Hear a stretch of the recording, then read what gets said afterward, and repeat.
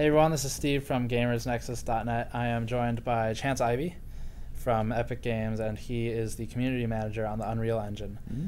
So uh, we had an interesting topic to, to bring up today with virtual reality and its design challenges.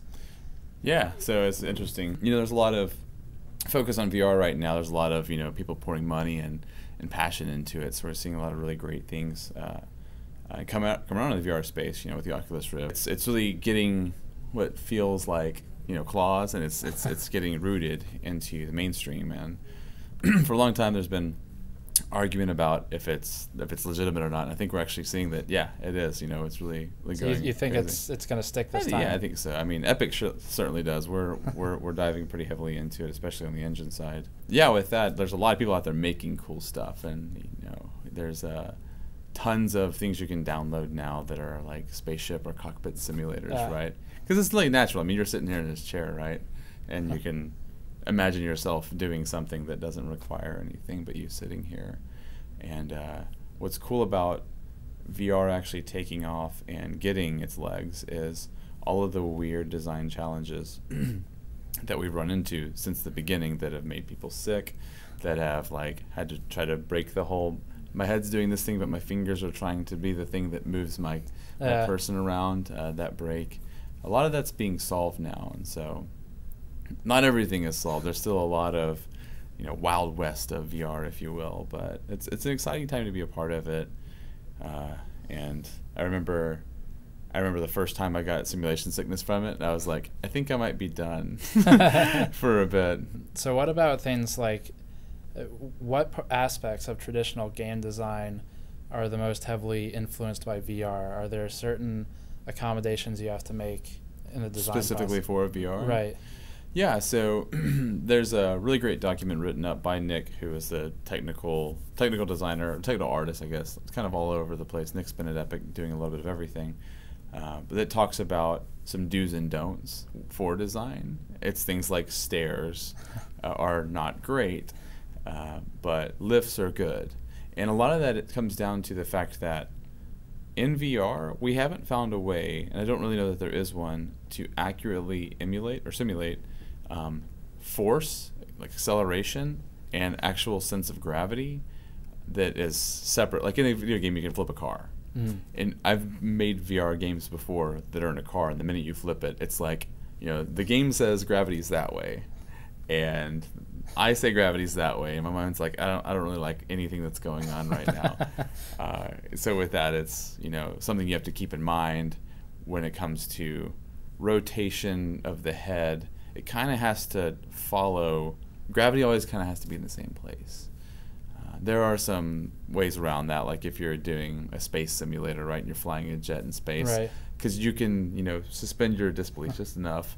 Uh, to know that oh I, I really shouldn't feel I, the weightlessness feeling should kind of be here even though I'm still sitting um, and it's okay for my plane to flip upside down and and do those kinds of things but that's been one of the bigger ones that that it's been kind of a no-no. It's it's the same as like if you're a car and you're a car and you slam into the wall, your body doesn't have that inertia, right. that forward motion that comes to that sudden halt as well, and so that's something that'll really, you know, put a put somebody into a little bit of a shock state, if you so will. So why uh, why are stairs bad? So I think a lot of that too is the fact that when you move upstairs, you expect you expect your body to be doing things like that kind of have like a step step step step you know with the right. head bob you don't want to mess with the camera in vr either you want it to kind of like stay the same so stairs kind of move like forward and backwards and left and right movement in vr feels almost natural enough because you don't have enough of that acceleration but when you have steps that are going up you can feel the the extent of gravity as you move right, right? so imagine you're walking upstairs or a ramp anything like that. Walking up or down those, you can feel the changes in where your body is and how gravity is, is affecting you in that.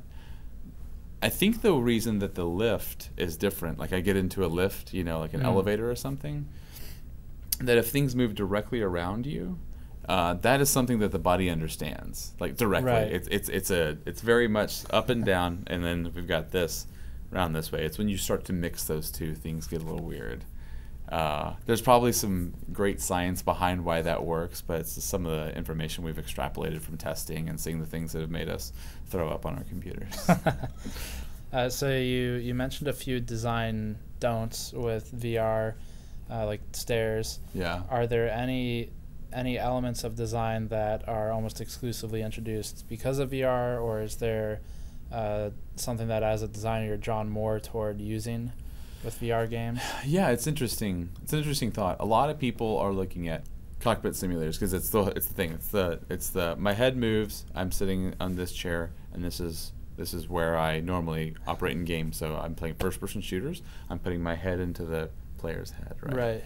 Um, but I think there's a lot there's a lot to be discovered and found out by taking the camera out of the player's head. Not not switching between the two. That is extremely jarring. but having it somewhere else in, in the in the game that is actually watching the player, uh, and it's less about head tracking and more about the stereoscopic and feeling like you're looking over something. Uh, with that as well, like people are having great success in putting outside of the game space uh, people into places that either don't really exist, don't really exist anymore, or too expensive to go to. Right? Like I think there was something that just happened to Coachella with Paul McCartney that you there was like the Yeah. 360 cam that was on stage there, Yeah. so you could like take control of it and be like, I'm actually there. I think we're going to see a lot more of that too. Uh, so I guess we'll close out here with uh, you work on Unreal Engine, of course. You Yeah. do community management there. Um, a lot of our audience aren't necessarily game developers by trade, Right. If they wanted to play around with it, uh, you know, where where should they go to learn more about yeah. Unreal Engine? No, that's great. So with Unreal Engine, you know, it's it's you're free to download, free to use, and uh, it's available at UnrealEngine.com. You can just sign up for a free account there, download it, start playing then, and we have, like I said, out of the box uh, VR support. So if VR is your thing, you can just pick up your DK2 or DK1 or anything. that We've, we've, we've been working with the Crescent Bay prototypes as well, and a slew of other devices as time rolls on. The, the stream has more info of all that stuff too, but um, yeah, it's kind of plug and play at this point, and it's really great. It's it takes hardly nothing to get started. So Always good news. So check out links in the description below for more information on all this coverage, and we will see you all next time. all right.